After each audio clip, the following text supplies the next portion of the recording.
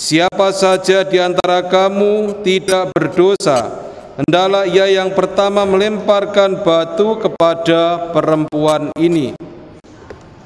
Lalu Yesus membungkuk lagi dan menulis di tanah. Tetapi setelah mendengar perkataan itu, pergilah mereka seorang demi seorang, mulai dari yang tertua. Akhirnya tinggallah Yesus seorang diri dengan perempuan itu yang tetap di tempatnya. Lalu Yesus berdiri tegak dan berkata kepadanya, "Hai perempuan, di manakah mereka? Tidak adakah seorang pun yang menghukum engkau?" Jawab perempuan itu, "Tidak ada, Tuhan." Lalu kata Yesus, "Aku pun tidak menghukum engkau." Pergilah dan mulai dari sekarang jangan berbuat dosa lagi. Bapak Ibu saudara-saudari terkasih dalam Kristus, kisah seorang perempuan yang kedapatan berzinah yang dihadapkan kepada Yesus oleh orang-orang Farisi dan ahli-ahli Taurat, sebuah kisah yang sangat terkenal dan kisah ini sering kita dengar menjelang kita memasuki pekan suci. Kisah ini terjadi di Bait Allah. Terjadi di Yerusalem. Bait Allah itu merupakan pusat spiritualitas bagi orang-orang Yahudi. Di Yerusalem terdapatlah Bait Allah Ketika orang mau berjumpa dengan Tuhan, mempersembahkan sesuatu kepada Tuhan untuk hidupnya, mereka pergi ke Yerusalem. Mereka juga merayakan hari-hari besar orang-orang Yahudi di Yerusalem.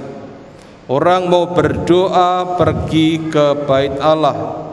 Pada intinya, ketika orang mau berjumpa dengan Tuhan, ia pergi ke Bait Allah karena bait Allah diimani oleh orang Israel sebagai rumah Tuhan sendiri di mana Allah hadir di situ bagi bangsa Israel. Orang-orang juga ke bait Allah untuk mendapatkan jawaban-jawaban atas persoalan-persoalan hidupnya. Dan persoalan terbesar yang dihadapi oleh manusia adalah dosa dan pewartaan Allah yang paling besar adalah belas kasih Allah. Dalam kisah ini, orang-orang mendapatkan jawaban dari Allah bukan dari kitab suci, bukan dari hukum-hukum Taurat, tetapi dari Allah sendiri yang hadir di dalam diri Yesus Kristus. Yesus tidak mengajar tetapi Yesus bertindak, berbuat sesuatu. Dalam tindakannya itulah Yesus mewartakan belas kasih Allah dan sikap Allah terhadap orang-orang berdosa. Dikisahkan ada seorang perempuan kedapatan berzinah dibawa oleh orang-orang Farisi dan ahli-ahli Taurat di depan Yesus Orang-orang itu mengemukakan apa yang terdapat di dalam hukum Taurat, hukuman apa yang harus diberikan kepada seseorang apabila mereka kedapatan bersinah. Apa yang menarik di sini adalah sikap Yesus terhadap orang-orang Farisi dan ahli-ahli Taurat dan terhadap perempuan yang berzina itu.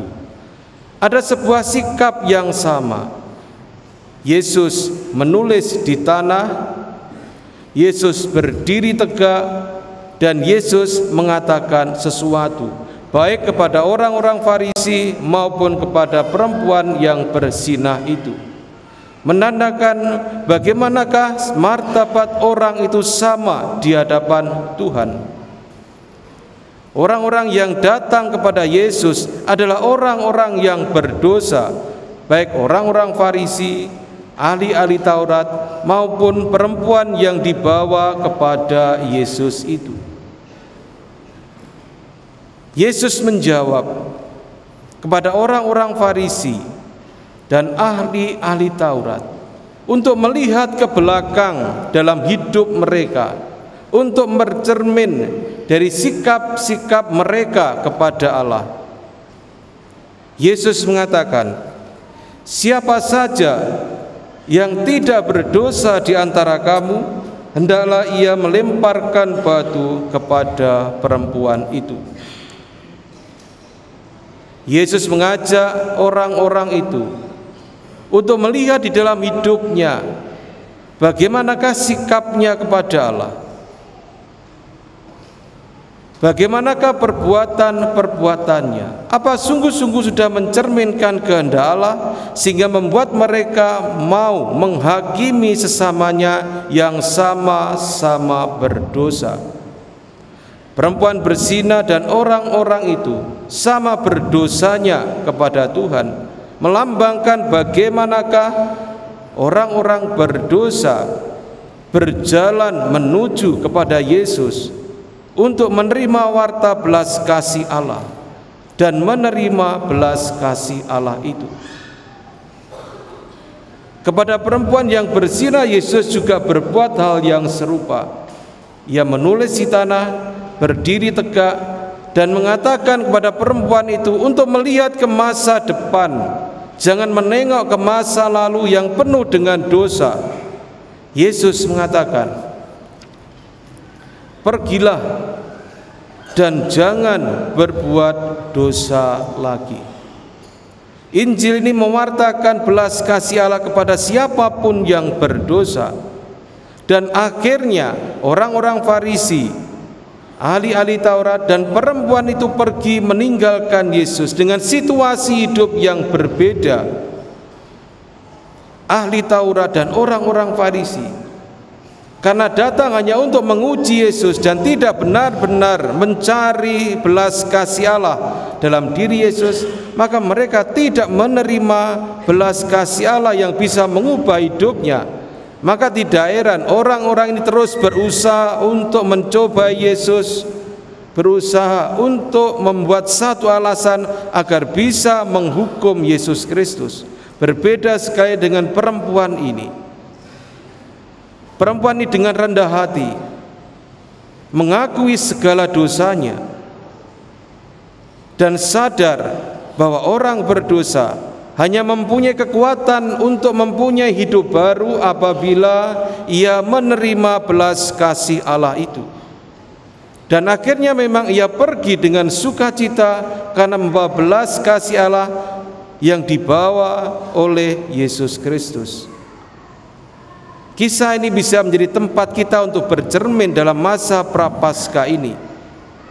Belas kasih Allah itulah yang sangat kita perlukan dalam kehidupan kita agar Tuhan sungguh mengubah hidup kita agar kita mempunyai kekuatan untuk meninggalkan cara-cara hidup kita yang lama yang tidak sesuai dengan kehendak Tuhan menjadi sebuah hidup baru bersama dengan Tuhan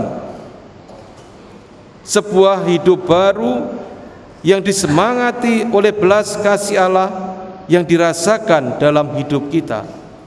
Maka marilah pada masa prapaskah ini pada masa yang penuh rahmat ini kita bersikap seperti perempuan yang berdosa itu datang dengan segala kerendahan hati mengakui kelemahan-kelemahan kita di hadapan Tuhan mengakui kekurangan-kekurangan kita di hadapan Tuhan dan bahwa tanpa rahmat Tuhan, tanpa pengampunan dan belas kasih Tuhan, kita, kita akan tetap tinggal dalam kelemahan-kelemahan kita kita akan mudah jatuh dalam godaan-godaan untuk berbuat dosa.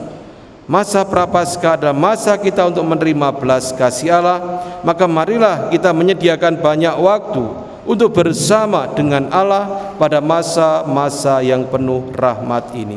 Mari kita hening sejenak.